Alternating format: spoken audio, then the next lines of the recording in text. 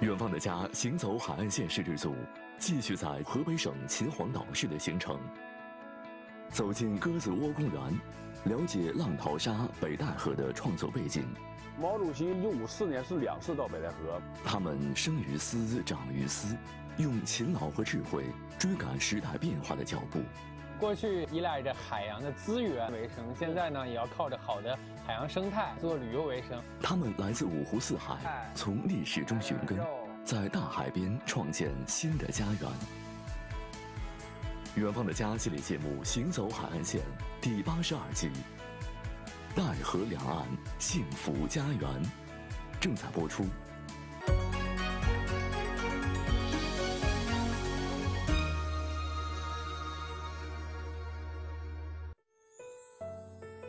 的家行走海岸线摄制组，继续在河北省秦皇岛市的行程。二十世纪的中国诞生了四大避暑胜地，分别是庐山、莫干山、鸡公山和北戴河。其中，北戴河是唯一的海滨避暑地。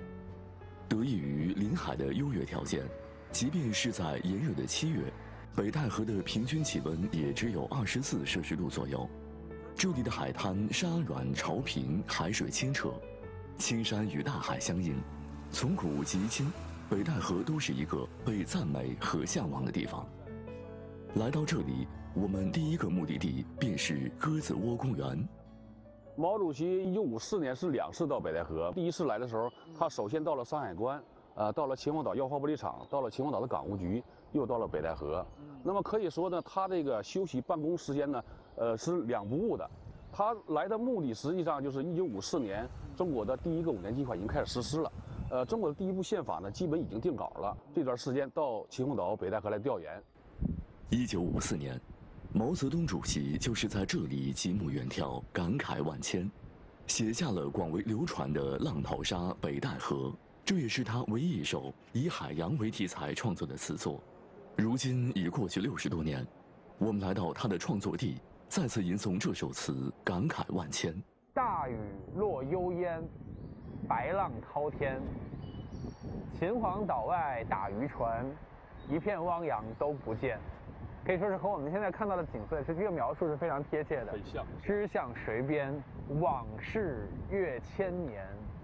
魏武挥鞭，当年的诗人啊，在这里感慨万千。因为咱们远处啊是燕山山脉，嗯，再往近一点呢是这个秦皇岛的市区，就是秦皇岛港所在地。他当年在这里写诗，也一定会想到今天的中国国富民强，也是他老人家希望看到的。我们今天做到了。北戴河历经百年，久负盛名，有人赞美它的清晨，也有人称赞它的日落。有人描写这里的炎炎夏日，也有人感叹这里雪花漫天。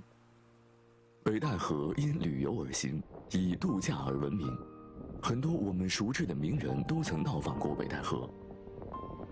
秦皇岛地区啊，呃，自古以来是兵家必争之地，啊，是很很重要一个地方。另外一个，北戴河和秦皇岛沿海一线，在汉代就已经成了中国北方最著名的三大军港之一，就足以证明北戴河除了地理位置优越以外，它当年的呃陆路交通、海上贸易，在北方来说应该是首屈一指的。北戴河古称鱼水，因修建京渝铁路时在这里设置北戴河站而得名。一八九三年，金渝铁路的总工程师金达在勘测线路时途经北戴河，发现这里沙软潮平，在京津地区广为宣传。一八九八年，清光绪帝亲批秦皇岛开埠，同时也将北戴河海滨辟为避暑地。这本书是《北戴河记忆》，它这上面能记载着北戴河最早旅游的一些资料。这个封面呢是。中国第一幅旅游招贴画，啊，招贴画就是那会儿的广告，对，是是这个意思吗？对，广告。这是什么样的一个形象？这骑马的，是一位穿着应该是泳装的女士，是吧？对。当时来北戴河旅游度假的主要是外国来华的筑路工程师、在华使节、商人和传教士等，他们在这里四处寻觅土地，结庐造屋，在北戴河兴建了很多别墅。这幅画就是第一栋别墅落成之日，一位外国女士骑驴前来庆贺，在别墅旁的树荫下休息时，被一位画家画了下来。这幅画呢，后来被铁路工程师金搭得到了。他拿这幅画呢，在每年暑期招揽这个游客吧，还有招揽这个外国人来北戴河开发北戴河来北戴河旅游。啊，就是在北京、天津啊，就是京渝铁路沿线，它这个火车站附近呢，发这个英文招贴的广告。啊也就是当年这个旅游招贴画不是贴在北戴河的，不是。一湾金沙拥碧海，两山绿树掩红楼。说的就是北戴河一侧是碧海沙滩，一侧是掩映在绿树丛中的别墅建筑。从1897年英国人在北戴河修建第一栋别墅开始，陆续有二十多个国家的人涌入北戴河兴建别墅。中国建筑学界将北戴河老别墅的风格归纳为红顶素墙、高台明廊。北戴河的老别墅呢，叫外廊式建筑，实际是欧洲的工程师呢，在欧洲建筑文化的基础上，吸收了中国建筑元素，形成了一种避暑地外廊式建筑的一种样式。高台呢，就因为北戴河地处海边，空气比较潮湿，它就有的房子呢就挖了一个地印子。看大家看到这个有一个排气孔，这个排气孔就是地印子的那个出气孔，离地面都有一米来高，就是抬高地面。走在古朴的小路上。两侧房子无不诉说着历史的沧桑，红顶素墙与绿色植物相映成趣，一草一木都透着光阴的故事。当地人习惯把这些别墅称作“老房子”，老房子是北戴河的精髓，他们让建筑充满诗意。进来是这个客房的样子啊，客房有这个沙发、茶几，嗯，还有一张这样的木床。这绝对是来避暑的，上面还有凉席呢，这是。所以有一些是还在利用的啊，像北戴河别墅都在利用。北戴河最初的规划和建设，都带有鲜明的旅游度假地的特点。修公路、立路灯、建发电厂、设药房和救生船，把绿化造林作为首要目标。经过十几年的建设，北戴河海滨避暑地初具规模。北戴河这些别墅呢，一九四九年存着七百一十九栋。四十多个国家人在这生活，这些国家人在这建了别墅呢，都有自己的建筑风格在北戴河反映。它就北戴河这别墅又号称是万国建筑博览馆，所以是非常珍贵的历史遗存了。天开图画成乐土，人住蓬莱似列仙。这段二十一公里长的海湾，被人们描绘成神仙居住的仙境。而这一栋栋老别墅也被看作是凝结着建筑音符的艺术品，它们见证了近代历史的风云变幻，同时也记录下悠长岁月里北戴河最别致的风景。出海捕鱼，迎接渤海日出。身后有很多的海鸟，它就一直跟在我们的船后面。感受渔村新生活。过去依赖着海洋的资源为生，现在呢也要靠着好的海洋生态做旅游为生。远方的家系列节目《行走海岸线》第八十二集，戴河两岸幸福家园正在播出。清晨四点多钟，我们驱车前往坐落在北戴河区的戴河口渔港。城市笼罩在薄雾之中，非常安静。当我们到达港口，看到的是一派忙碌的景象。虽然港口不大。但人们在船与陆地之间来回穿梭，将刚捕获的海鲜第一时间销售出去。我们提前联系好一对夫妻，准备跟随他们一同出海捕鱼。说实话，在寻找当地渔民的这个过程当中啊，并没有那么容易。因为北戴河的旅游发展的很早，所以从上世纪八九十年代开始啊，就有很多的渔民选择了上岸，投入到了旅游行业当中。加上现代渔业的快速发展，以及对于海洋生态的保护，政府呢也鼓励渔民上岸。可以说，过去啊，秦皇岛只要沿海的村庄就是渔村，村里的人们呢都是渔民。但是现在呢，渔民确实不多了。所以我们今天也想通过我们的记录来拍摄一下秦皇岛渔民的生活。可以看到，现在渔港已经很繁忙了，有很多艘渔船正等待出港。您好，是李大哥吗？哎哎，我们远方的家摄制组跟您联系过了，咱们现在能走了吗？能走了，可以。能走了，那我们摄制组就上船了。李国斌是附近的陆庄村人，今年五十五岁，家里祖祖辈辈都靠捕鱼为生。而他从十几岁就跟着父亲出海，如今已有四十多年的时间。李国斌驾驶着渔船缓缓离岸，驶向伸手不见五指的茫茫大海。李大哥在开船，所以我们在这个船头和杨大姐先聊一下哈。您能不能先给我们讲讲为什么要这么早我们就出发呀？四点就要走因为好多地方的时候到天亮了。啊，所以这个船行有很久吗？要开多久？渔船随着大海的波涛起起伏伏。曾经，奈河两岸至鸽子窝一带沿海居民都是以捕鱼为生，大小船只有一百多艘。如今，海上作业的渔船明显少了很多，大部分人都选择了从事与旅游相关的工作。渔船随着海浪翻涌起伏，摄制组全员都出现了晕船现象。随着渔船驶出海湾越来越远，症状越来越严重，我们不得不暂停拍摄。大约早上六点多钟，天空逐渐放亮，在渤海之上，我们迎来了日出时刻。看看，身后有很多的海鸟，它就一直跟在我们的船后面。应该这些海鸟早就习惯了追着渔船找食物这样的生活方式。尤其是现在太阳刚刚升起来，景色很漂亮，可以说是。朝霞与海鸟齐飞，秋水共长天一色。成群的海鸟追逐着渔船飞行，它们等待着能有食物抛下，可以让自己饱餐一顿。对于这样的景象，李国斌夫妻俩都已经司空见惯。李国斌告诉我们，妻子杨雨红家世代以种地为生，嫁给自己后开始跟船出海。因为不适应海上的生活，二十多年来，他一直都晕船，每天出海前都要提前吃防止晕船的药，直到最近两年才有所好转。所以每次出海看见围绕着渔船的海鸟，他觉得渔船与海鸟就像他们夫妻俩一样，在这茫茫大海上互相陪伴。在海上航行了将近两个小时，我们到达了李国斌下网的地方。哇这网上面还是有收获的啊，也不少，大螃蟹啊，还有鱼，怎么样啊，李大哥？嗯，今天还我感觉这网还挺沉的，我拉一下试一下。哎，还有一只螃蟹，给大家看一下，来，这是梭子蟹吧？这有多少啊？您您估计一下。这个有七两吧。这只大梭子蟹膘肥体壮。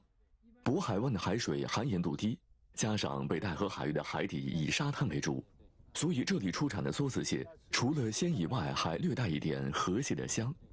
在北戴河还有“蟹过无味”的说法，意思是吃过梭子蟹，再吃其他海鲜就没有什么味道。这个价格怎么样？这个应该达到一百块钱吧，差不多。这一只吗？不，一斤啊，一斤哈，那这一只也七十呢。那在秦皇岛附近海域，在这个海产品当中啊，数量比较多的是什么？数量比较多的，嗯，首先开从开春开始，这个螳螂虾是咱这嘎达的特产。螳螂虾也好吃，也就俗称就是皮皮虾。啊啊，皮皮虾哈，皮皮虾是一个，第二个呢就属于这个梭子蟹。梭子蟹几月最多？这个丁子是现在的季节。九月一以以后，嗯，到十月十月份这这段时间，这是它的旺季，也是对现在是最好的时候，它已经都上黄了。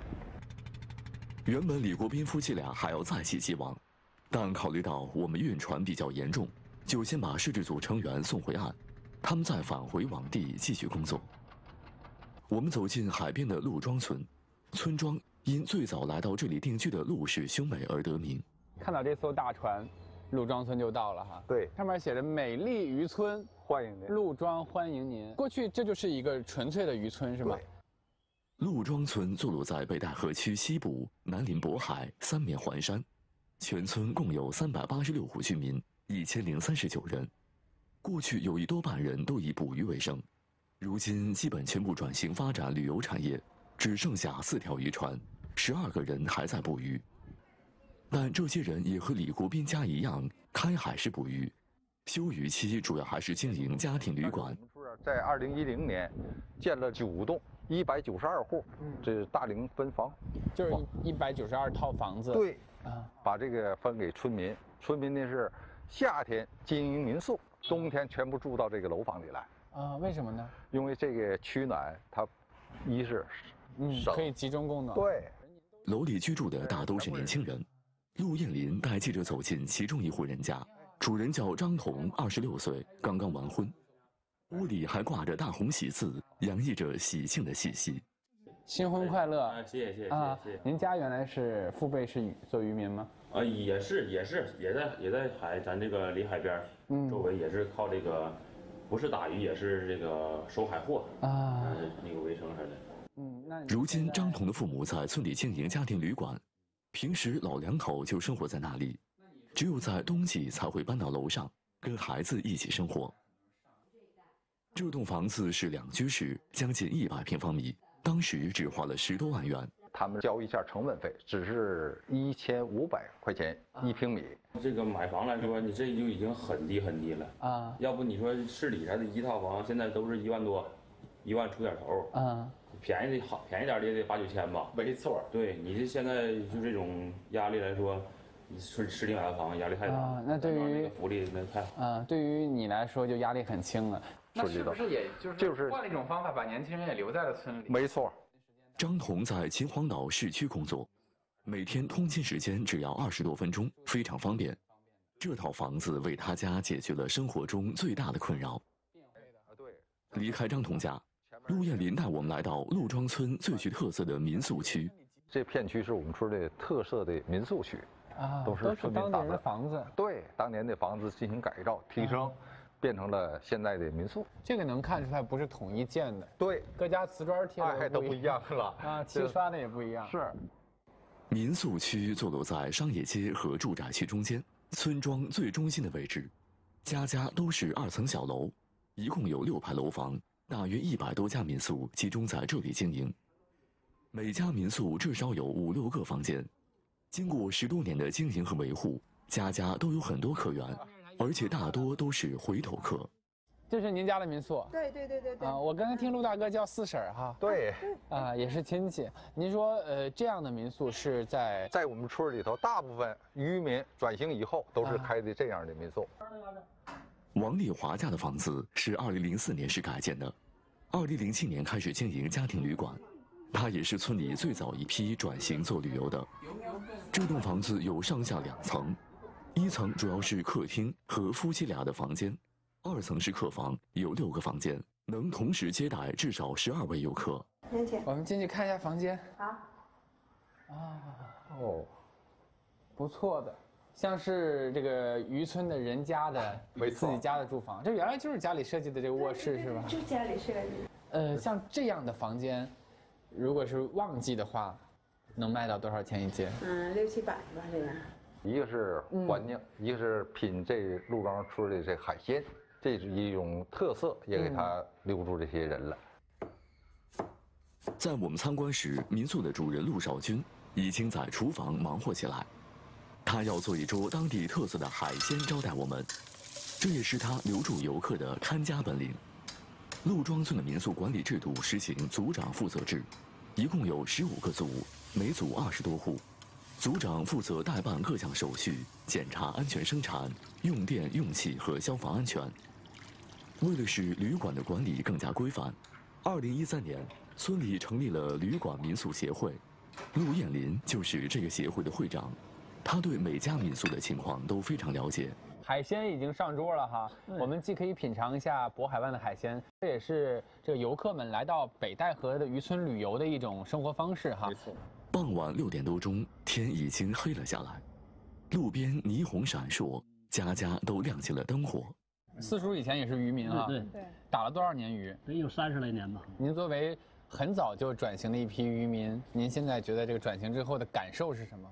嗯，你原先出海，说实在的啊，咱也是。呃，收入也不算太多，因为啥呢？这这这些年海的资源也比较，不像是那啥的时候了。我小时候还是上岸以后，干这个农家乐旅馆、这家庭旅馆以后吧，这个收入还是比较，它它比较稳稳定。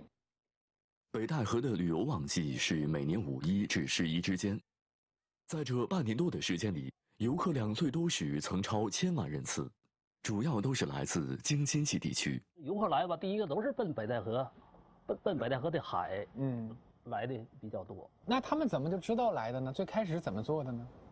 当时吧，我们村吧。有这些人，就客人到这儿以后，看到这哎，打听说是哪有吃农家饭，但是呢，都是到这奔着这个农家菜而来的。嗯，逐渐发展成这个陆庄村现在有这大的民宿产业。陆庄村的变化也是秦皇岛沿海村庄发展的缩影，渔民收起渔网，以另外一种方式与大海和谐相处。过去依赖着海洋的资源来捕获资源为生，现在呢也要靠着好的海洋生态对对来做旅游为生。对，仍然是靠海吃海，依然依然离离不开海。在陆庄村了解之后，我们发现渔村的生活每天都在变化，对吧？是。只要我们勇于面对生活的挑战，努力做出改变，日子会越来越好。所以做旅游的话，我们五年前来这个陆庄村和五年后还是不同的。今天要感谢陆大哥、四叔、四婶儿。这么热情的款待哈，过几年我们再来这里旅游，欢迎再看看欢迎欢迎来，欢迎再来白戴河。这里有孤独的图书馆，也有充满烟火气的生活。我看您这是买菜准备回家做饭呢。啊，对。回望家族历史，汲取前行动力，在大海边创建新家园。远方的家系列节目《行走海岸线》第八十二集。戴河两岸幸福家园，正在播出。离开北戴河区，我们一路向南行驶，来到与北戴河区隔代河相望的北戴河新区。这里有中国最美八大海岸之一的黄金海岸，一百五十平方公里的防护林带郁郁葱葱。北戴河新区距北京只有两个多小时的车程，距离天津和沈阳更近。宜人的自然气候和便利的交通条件，吸引了很多京津冀等地的人来到这里定居。原来的荒滩变成了一批批集旅游、康养和度假于一体的综合体社区。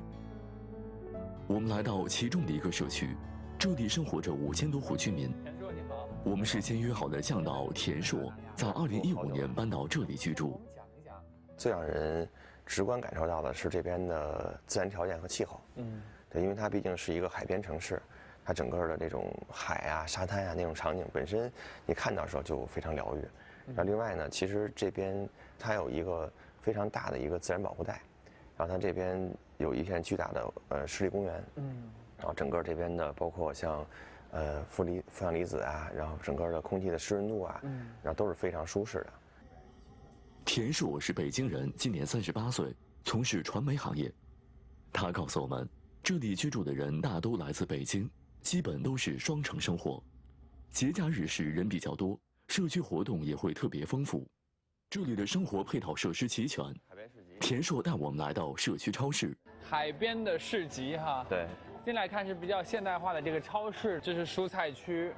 对，这边冰激凌。对，这块有一个当地海鲜鱼档，就是当地海鲜贝类啊，生鲜超市。对，生鲜。对，然后你可以让这儿在这儿加工。超市的面积不大，但商品种类满足日常所需没有问题。各种肉类、生鲜都来自当地的农场或渔场，每天有人专门配送，价格与秦皇岛主城区基本持平。田硕告诉我们，超市的设计者是这里的一位业主，因为喜欢做饭，对菜市场情有独钟。便把这个超市设计成了他理想中的样子。您是哪里来的？我是北京来的。北京哈，那现在是社区的业主吗？业主一直在这住。我看您这是买菜准备回家做饭呢。啊，对。买的青菜。啊，买了青菜。买点肉。回去自己做，有时候就上食堂。啊，吴咏梅今年五十八岁，二零一六年在这里买了房子，退休后过来生活，如今每年都在秦皇岛待上半年之久，选择在这里定居。除了优越的自然环境，他更看重的是社区超前的服务理念。你有什么事儿，不管大事小事儿，全你叫管家一声，管家就全部责无旁贷，就就就对你热情的服务。固定的一个人吗？还是？固定的，送快递，天天送到家。有时候快递没来，他给找；有时候家里要叫搞卫生，让他叫保洁呀，社区有什么活动啊，他都在群里都通知。啊，你要身体不舒服啊，他马上分分钟就去你家。吴永梅说，退休后，她想寻找一个让生活更加充实、精神更加愉悦的地方。这个海边社区满足了她理想中所有的条件。她的说法让我们有些好奇，这个社区的吸引力究竟在哪里？我们跟随吴咏梅去她家里看看。每年都有山楂，到这时候就大丰收，物业摘了，完了做成山楂罐头，完了就送给业主，这非常美好的生活。吴阿姨生活这儿一看就很开心哈。这边是杏树啊，我感觉到了这个心态就也是变得非常的热情，很开放。对，一路走到这儿，和这个路上工作人员打招呼，说邻里之间关系特别好，和工作人员关系也特别好，对，也都熟悉了那么多年，他们也都特别好。来，请进。好好好，谢谢谢谢。吴咏梅家是一栋二层小楼。楼前有一个小庭院，种满了各种果树和青菜。呵，您家这个山楂长得是真好啊！结了这么多果啊！也挺大的，今年挺好的啊。我给你摘一个啊，来，你尝一尝啊。再等一等不更好吗？你看，酸酸甜甜，是吗？有点北京糖葫芦那个感觉。对对对对。照顾和打理这些植物是吴咏梅每天的必修课，这也是让她最感兴趣的事。秦皇岛、北京两地春来秋往，她的行程都遵循着庭院里这些植物生长的规律。我每年的四月份，谷雨嘛，谷雨种瓜种豆嘛，我每年在这时节我要过来要种菜啊，要开始忙 忙土地里的事情。因为你买种子买晚了，它就不好了，所以每年按照这个季节去买来啊。然后什么时候再离开这里？嗯，每年到十一月中旬回去。吴咏梅家距离海边只有五分钟路程，每天去海边散步也是她日常生活中的一部分。阳光、绿树、清新的空气、和谐的邻里关系和宁静的田园生活，这些都是他曾经理想中的样子。一到夏天就招待朋友，嗯，招待朋友多。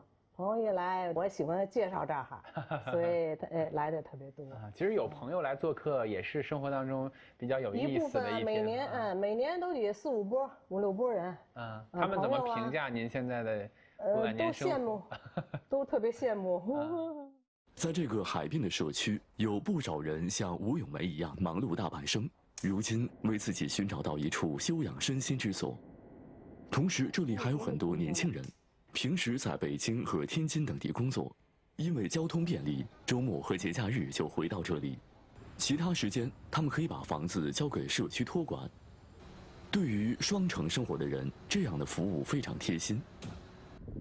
与吴咏梅告别后，时间临近中午，田硕带我们来到社区食堂。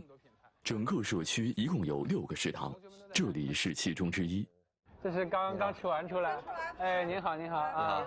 采访来了。对对，你们是住这儿吗？住这儿，住这儿。啊，这儿的啊，刚吃完是吧？刚吃完。花了多少钱？很便宜，很便宜。啊。花多少钱？二十块钱。我也差。二十哈，您是邻居还是？邻居。邻居相约一起来吃饭。啊，净吃食堂，特别少，说自己，咱们食堂特别好。不错哈，我们也准备去尝一下。尝尝吧，又干净又 好。好好好，还没吃呢，遇到了两个。什么都有。哎，慢点。再见再见。哎。几个素不相识的人就这样聊了起来，这让我们对吴咏梅所说的邻里关系有了更深的感受。食堂内部宽敞明亮，是一个自助式的餐厅。对，这边最大特点就是说吃的全都是特别熟悉的菜啊，比如说北京的卤煮啊，山西的面食啊，嗯，然后还有一些都是家常菜，所以这边就是常住居民特别喜欢。还有山西的手工面啊！您好啊，您好，那我就尝尝家乡的味道吧。山西臊子面来一份。整个食堂一分为二，一侧是就餐区，一侧取餐。这个食堂以北方菜式为主，有荤素搭配的炒菜，也有水饺、面条、小笼包等各式面食。准备开饭了哈，先来看一下我们两个今天这个餐食。我们俩都吃的是面，然后有一份水果，两个凉菜，还有我点了一杯饮料，一共是五十九哈。尝，你尝尝你的面正宗不正宗？食堂为社区增添了烟火气，也方便了人们的生活。整个社区一共有六个食堂，每个食堂的风格和菜品都各有不同。这些食堂每每天可以为几千人次提供餐饮服务。这边北方人为主嘛，嗯，所以就是北方的菜多一些，比如山西的面呀、天津的煎饼啊这些。我看还有肉夹馍。对，这边还特意会安排他们去学，去当地学。跑去山西学刀削面吗？对，对，是的。那我要尝一尝这个山西的臊子面，正不正宗啊？尝一下。而且这边嗯有一个特点就是菜品特别多，味道很好。在这个新型的滨海社区，不仅生活便利。这里不定期举办的美食节、戏剧节和音乐节等，也丰富了居民们的内心。很多活动都有社区组织。田硕自从来到这里，最让他感兴趣的是一项名为“社区家史计划”的活动。林小妹是这项活动最早的参与者之一。快看！这个景色还真的是不错，正面大海啊，这就是秦皇岛非常美丽的海岸风光了。嗯，住在这儿应该很舒适了，特别开心。嗯，整个人其实是融入大自然的。二零一五年，林小妹来到这里，除了喜欢海边的环境，她更希望找到一个可以让自己放松的地方，因为那时候她刚刚卸下生活的重担。说来话很长，我有一对双胞胎的女儿，老大当时早产窒息，一岁的时候诊断为脑瘫，他这个情况还蛮严重的。两岁多的时候，他基本还不知道自己有腿，就是他腿基本都不能自主的活动，抬更不可能了。大女儿确诊患有脑瘫，这对他来说是天大的打击。更让他接受不了的是，那段时间家里三位亲人接连去世。这样的打击对林小妹来说已经超出承受能力。这就是在我女儿上一年级的时候，我曾经有过想放弃的一个想法。我们老大上学的时候，那个状态是每天轮椅要推着他去上学，嗯，在家基本就是自己爬着走的。包括他的智商，其实在五岁的时候测过，智商也就五十分吧，就满分。一般的人大概八九十、一百分。那么我看着他很痛苦，也会很心疼。他在学校就是每天不能喝水，他拿笔都拿不稳，一坐就得一上午一下午，孩子嗯非常难。当妈的我又帮不了他，非常非常难过。那个时候我就有一个念头，我就想带他离开这个世界。林小妹在收拾东西时，偶然间发现一封父亲写给哥哥的信，那也是哥哥在遇到困难的时候，父亲在信中鼓励他。君子忍人所不能忍，容人所不能容，处人所不能处。这是父亲一直以来的处世哲学，也是他对几个子女的教育之道。看着熟悉的字迹，林小妹激动不已，我就是泪流满面。我坚定的认为，爸爸面对我的困境的时候，一定会坚持下去。其实从那以后，我从此再再也没有想过这种这么傻或者这么可怕的一个念头。林小妹辞去工作，专心陪伴女儿，带她求医问药，寻求最好的治疗方案。十几年过去，孩子的病情逐渐好转。那现在情况是好很多了，是吗？对，现在好很多。嗯，其实他一直在康复的过程中，包括到大学二年级，还读了大学。读了大学，对，呃，他自己也非常的努力。他现在状况是拄着双双杖，就手杖，所以他走路可能会慢一些。你也知道，四肢还不是很灵活。对，但是他的这个智力水平已经就可以就没有大读完大学没有问题。是的，读完大学恢复正常了吗？恢复正常。然后他现在是在呃日本的早稻田读博士了。哦，这么厉害！博士二年级，对。所以我的经历，包括我女儿的经历和现在的状态，都是爸爸的不服输和坚强。在我们一辈一代人身上的一个传承和流淌吧。十几年紧绷的生活终于过去，从父辈那里获得的力量，让林小妹更加想了解父母亲所经历的生活过往，这与社区组织的家史计划不谋而合。她毫不犹豫地加入其中。和她一样，参与这项活动的居民都想更多、更深地了解自己家族的历史。并与身边的朋友分享由此带来的生活感悟。那发起这个活动以后，一五年开始，一六年就是征集稿件，每年年底的时候都会有一个集子，然后也会在图书馆里留存。那么现在已经是六年了，这个计划就是有很多篇的文章。我们也是从故事里头了解到这个邻居他的来龙去脉。家史计划通过写作培训、搜集资料。讲述分享和集结成书等方式，帮助参与者对自己的家族追根溯源。六年时间里，已经有五百个家庭参与其中，两百多人参与写作，收集一百八十九篇文章，出版了六本家史季刊。我们看到桌上这些都是你们写过的家史，是吗？是的，是的。哦，这么多啊，这都不一样。嗯，要每年一册。这是很多人家里的故事集合在一本书内。对对。江华和翟洪生夫妻俩，二零一五年加入到家史计划活动中。这次他们专门带来了父辈留下的物品。第一枚是五十年代铜麦穗儿八一五星帽徽啊，这应该是当时是嵌在帽上的一个。嗯嗯。呃，第二枚是五十年代八一的五星帽徽。嗯。他还有很多那个就是呃，叫军功章。嗯。嗯，但是我都没有了。我看到他的那个简历就写的二等功、呃三等功、四等功全有，但这些都找。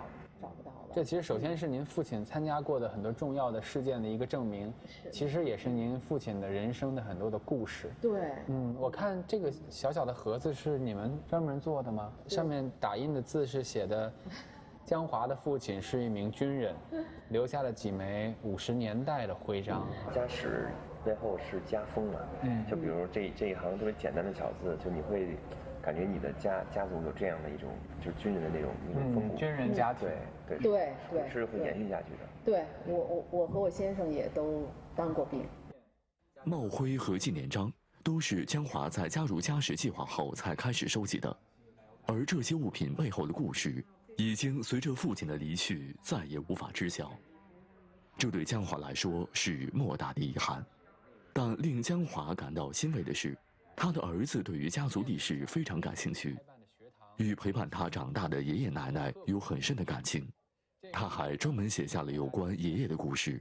爷爷从小在村里开办的学堂念的私塾，因为刻苦与努力，爷爷在书法方面有着很深的功底。所以爷爷给他讲当年的故事哈，我看了很多，包括那会儿爷爷参加工作之后换正装啊，以及那个时候的待人接物啊。从小爷爷给他讲，他现在身上有很多爷爷的影子，台词都写在这个里面哈。家史计划并不是单纯的追忆过往，他更倡导珍惜当下。李小妹说，每个刚加入活动的人在整理资料时都会发现，长大后与父母的合影少了，跟父母坐下来聊天的机会也少了。忙碌的生活中，最先被忽略的就是与父母的相处时光。所以，家史计划更想提醒大家的是珍惜当下。我听到这儿，其实我的感触也挺深的。我相信很多人在听大家回忆家史的故事的时候，都会不断的问自己，也不断的回想：哎，我爸爸当年是在哪里读的书，在哪里工作的？我的爷爷又是一个怎样的生生活环境？当年，但我来到这里，我觉得我应该把它记下来，因为有些故事，如果我们再不回忆、再不记录的话，随着时间就忘了。每一篇文章的背后都是一个家庭的记忆，这份记忆中既有言传身教的家风传承，也有一个家族发展变化的历史脉络。每一段家史背后都蕴含一个地域的历史和文化，他们彼此连接，交相辉映，留下的是一个个时代的印记。